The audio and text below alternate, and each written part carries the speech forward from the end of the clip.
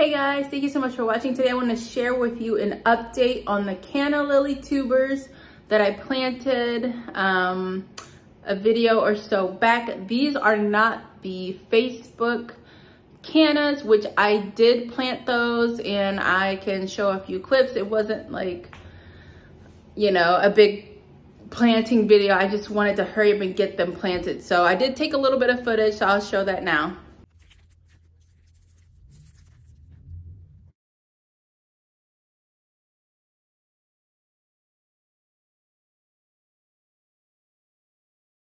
Okay, so I've got a lot of stuff going on over in this space, but here are some right here. And if you watch the video, then you know that I planted multiple chunks in each pot. So here's a pot that had multiple chunks in it. The growth looks fabulous. Everything looks healthy. It looks great. Jonesy, what are you doing? Can you please get out of there? Mister. Mister. What are you doing? Hi. Hi. Okay, anyway, so then I, buddy, do something. Go take a nap.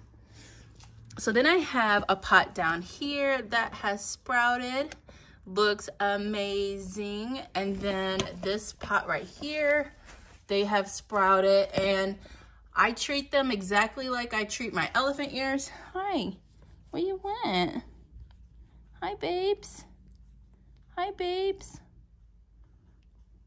Hi. He's a good guy. He's a good guy. Yes, he is. Okay, so that one has sprouted. And then, let me see. Is there another pot? Oh, yes. Here's the one that's got the biggest foliage on it. So this one is so pretty. Hi, so cute. Lots of sprouts in the pot. It looks amazing. I think those are the only ones that I planted. One, two, three, four.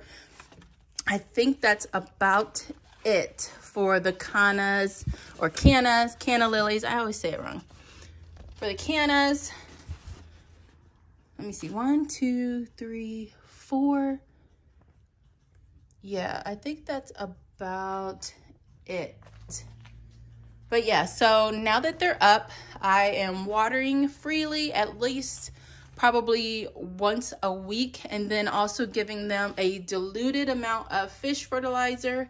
Um, if you've used fish fertilizer before, you know a little goes a long way in, you know, regular fertilizing. So I just use a very small amount and then dilute it with water and water these plants in.